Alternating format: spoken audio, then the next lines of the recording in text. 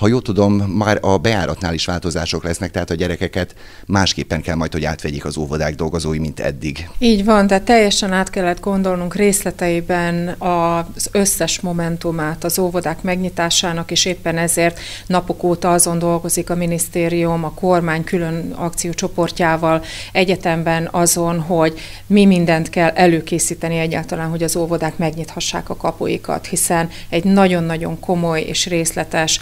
higiénés, tisztítás és, és rendbetétel kell az óvodák esetében, és majd csak ezt követően gondolkodhatunk a további lépéseken. Ami a gyerekeknek az átadását illeti, meg a belépését az intézménybe, ez lesz az a pont, ami merőben más lesz, mint ami egyébként szokott lenni az óvodák esetében, hiszen nem lesz meg az a beszoktatási időszakra való lehetőség, ami egyébként szokott lenni, ami különösen a pici gyerekek esetében lesz nagyon nehéz, és éppen ezért a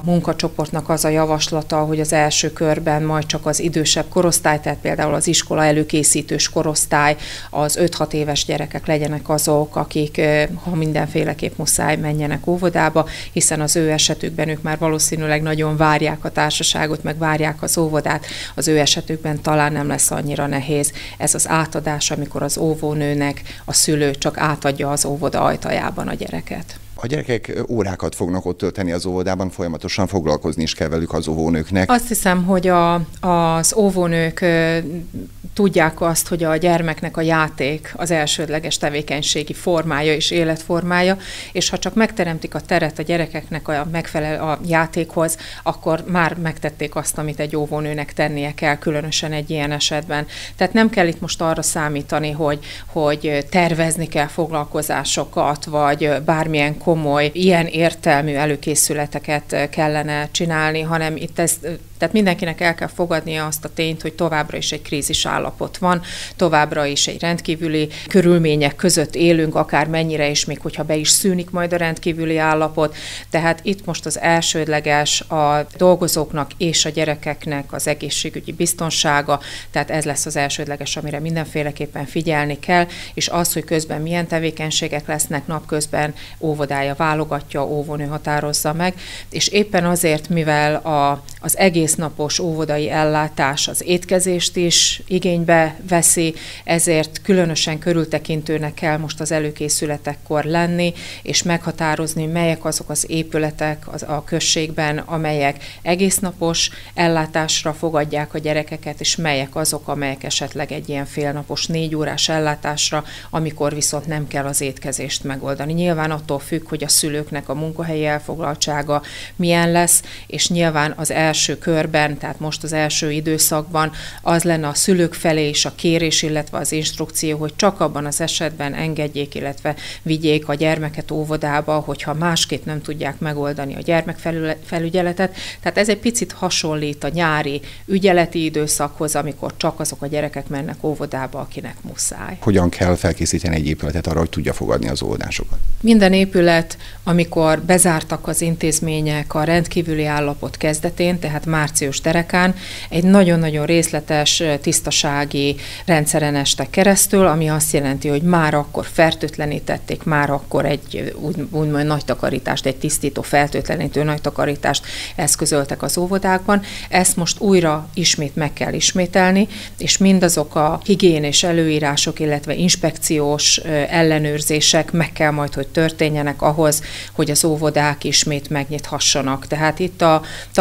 tartományi oktatási titkárság, illetve a tartományi oktatási inspekciónak a feladata lesz majd nagyon fontos ebben az időszakban, hiszen meg kell bizonyosodnunk arról, hogy minden olyan előkészület megtörtént, ami május 11-ig meg kell, hogy történjen ahhoz, hogy az óvodák ismét fogadhassák a gyerekeket. Nagyon kell arra is figyelni, hogy az óvónők milyen előkészületeket egészségügyi szempontból mit kell, hogy teljesítsenek, hiszen mint minden munkakezdéskor egy orvosi vizsgálaton kell, hogy túljussonak. Ez vonatkozik természetesen az óvónőkre és mindazokra az emberekre, akik az óvodában visszamennek ugye dolgozni. Azt ne felejtsük el, hogy a bölcsödés csoportokban olyan védőnők, tehát egészségügyi nővérek dolgoznak, egészségügyi nővér végzettséggel dolgoznak az óvónők, akiket nagyon sok esetben a korona kórházakba osztottak be a rendkívüli állapot alatt. Az ő esetükben kötelező lesz majd a koronavírus, tehát a COVID vírussal kapcsolatos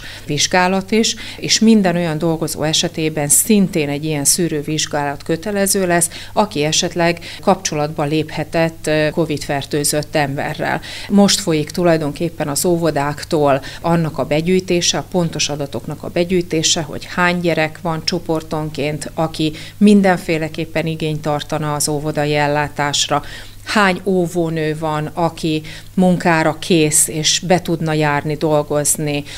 hiszen a az állami intézményekben továbbra is az az instrukció, hogy ha a családban kicsi gyermek van, akkor ők továbbra is otthon kellene, hogy maradjanak, vagy a nyugdíjkorhatárhoz közeli emberek szintén otthon kellene, hogy maradjanak. Tehát nagyon nagy szervezési feladata lesz most az óvodáknak ilyen értelemben, hogy biztosítsanak megfelelő számú embert, hiszen az utasítás meg fogja azt is határozni, hogy egy csoportban hány gyerek lehet maximum, hiszen a távol távolságtartást be kell ilyen értelemben is tartani, és azt hiszem, hogy, hogy mindazok a szempontok, amelyeket a munkacsoport szem előtt tart, pontosan azért, hogy a, az embereknek az egészségére vigyázzunk elsősorban, olyan instrukciókat fog majd eredményezni, amelyek mellett az óvodák nyugodtabban nyithatják meg kapuikat. A szülőknek mit tanácsol, tehát akik, akik most visszaviszik majd a gyerekeket, hogyan tudják őket felkészíteni arra, hogy mi vár rájuk most, mekkora változások? Nagyobb bacska óvodásoknál nyilván könnyebb dolguk lesz a szülőknek, hiszen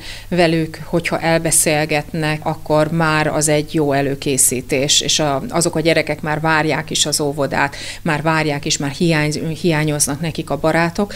viszont a picike gyerekek esetében gondolok itt különösen a bölcsödés korosztályra, három év körüli korosztályra, itt lehet, hogy meglehetősen nehéz lesz ez az időszak, és természetesen a szülő csak akkor fogja nyilván beadni a gyerekét az óvodába, hogyha a munkavégzés szempontjából muszáj a munkahelyen tartózkodnia, és ebben az esetben is ugye az lenne a javaslat, hogy amennyiben csak lehet, a munkáltatók biztosítsanak részmunkaidőt, hogy például a munkaidőnek a felét lehessen otthonról végezni, vagy pedig a rugalmas munkaidő beosztást biztosítsák, hiszen hogyha a szülő szülők váltásban meg tudják oldani, hogy az egyik délelőtt, a másik délután van a gyerekekkel, akkor nyilván csökken annak a, a szükségessége, hogy óvodába adják a gyerekeket, de azt hiszem, hogy ha a, az idősebb korosztályra gondolunk, ugye nagyon sok esetben a nyári ügyeleti nyitvatartás alatt a nagyszülőkre szoktak számítani a szülők a gyermekfelügyelet terén,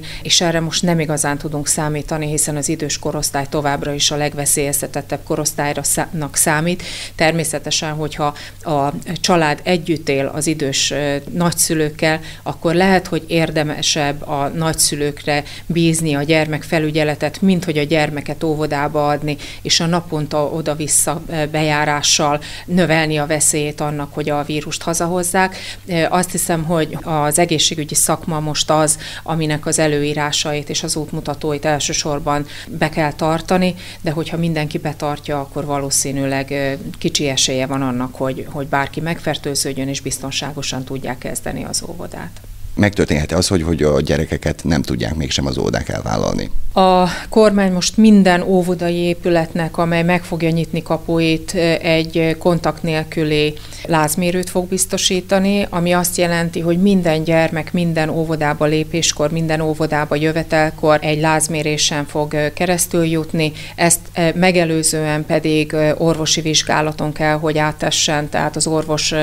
ugyanúgy, mint minden szeptember előtti óvoda kezdéskor, tehát be kell bizonyítania ugye a családnak, hogy egészséges a gyermek, hogyha ez megtörténik, és a reggeli lázméréskor, vagy testhőmérsékletméréskor rendben van, akkor az óvoda a gyermeket fogadni fogja. Az óvoda megkapja majd azt a konkrét instrukciót is, hogy mit kell abban az esetben tennie, hogyha egy gyermek az óvodai tartózkodás alatt kezd olyan tüneteket mutatni, amelyek esetleg a COVID vírussal való fertőzésre utalhatnak. Ebben az esetben nyilván fennáll a rizikó, hogy a többi gyermek is időközben megfertőződött, úgyhogy nagyon-nagyon sok szempontot kell itt figyelembe venni, és hát a, éppen ezért kell borzasztóan tudatosan erre az időszakra készülni most, és minden olyan útmutatást betartani, amit a, a szakemberek mondanak.